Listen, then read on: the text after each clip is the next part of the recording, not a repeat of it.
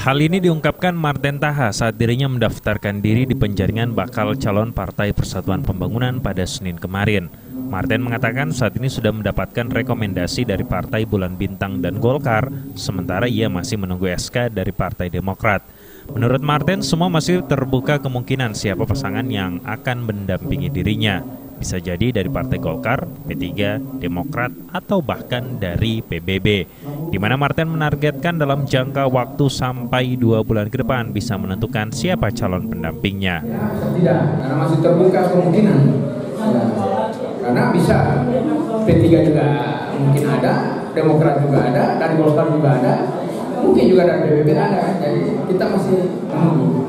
Dalam jangka waktu kurang lebih satu sampai dua bulan ke depan kan kesempatan kita melakukan komunikasi dan uh, apa mencari mana yang paling tepat Martin menjelaskan mencari calon pendamping untuk memimpin kota Gorontalo harus memiliki kecocokan satu sama lain serta bisa mengakomodir semua kepentingan pada semua strata masyarakat.